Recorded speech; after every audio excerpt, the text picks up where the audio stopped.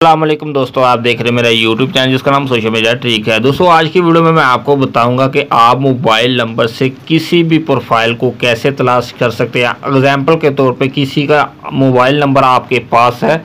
आप जानना चाहते हैं कि इस पर फेसबुक की आईडी यानी कि प्रोफ़ाइल बनी है या नहीं। आज की वीडियो में बताऊँगा कि आप कैसे जान सकते हैं। वीडियो में आगे बढ़ने से पहले आपसे एक दरख्वास्त है कि चैनल को सब्सक्राइब कर दीजिएगा। वीडियो पसंद आए थे इसको लाइक भी कर दीजिएगा।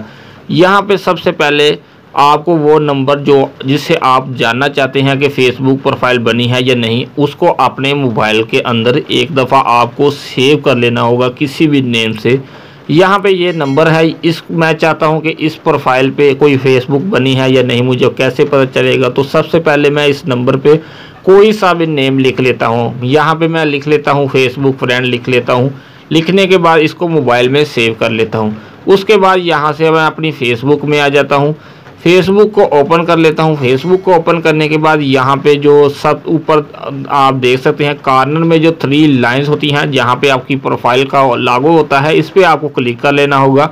उसके बाद नीचे थोड़ा सा स्क्रॉल डाउन करके आ जाते हैं, जहाँ पे सेटिंग एंड प्राइवेसी का ऑप्शन होगा, इस पर आपको क्लिक कर लेना होगा। उसके बाद यहाँ पे सेटिंग का ऑप्शन आ जाएगा, इस पर आपको चले जाना है। सेटिंग के ऑप्शन पे जाने के बाद यहाँ पे अकाउंट सेंटर के अंदर आपको इस जगह पे एक दफ़ा क्लिक कर लेना होगा।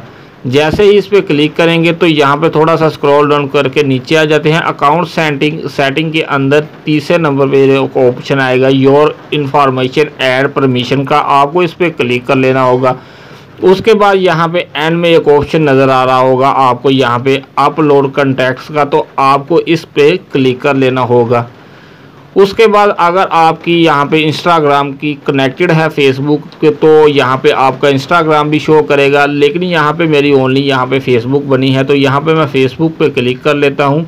फेसबुक पे अगर मैसेंजर है तो मैसेंजर भी आपका शो हो जाएगा। उसके बाद यहाँ पे कंटैक्ट्स जितने भी होंगे, यहाँ पे आपको इनको ऑन करना होगा।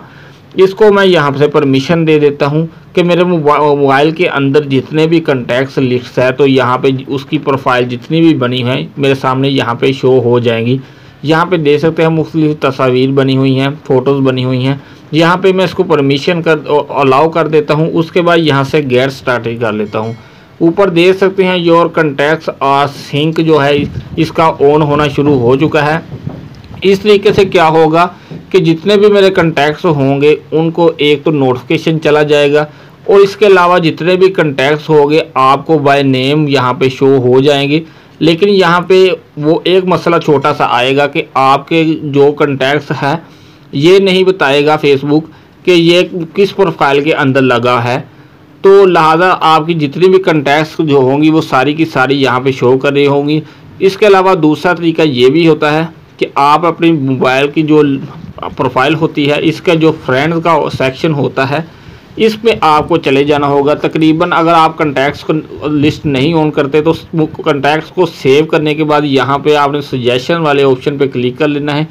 इस तरीके से भी आपके जितने भी मोबाइल के अंदर कंटैक्ट्स लिस्ट के अंदर जो फ्रेंड्स होंगे, वो सारे के सारे यहाँ पे सजेशन के अंदर शो होते रहते हैं। इस तरीके से आप जान सकते हैं। लेकिन अगर आप चाहते हैं कि वन नंबर से पता चल सके कि इस प्रोफ़ाइल इस नंबर से कौन सी प्रोफ़ाइल बनी है, ऐसा बिल्कुल भी नहीं होता। ये थी दोस्तों आज की वीडियो। उम्मीद करता हूँ वीडियो आपको पसंद आई होगी। इन अगली वीडियो में एक नए टॉपिक पर बात करेंगे। तब तक के लिए इजाज़त दीजिएगा। अल्लाह हाफिज़।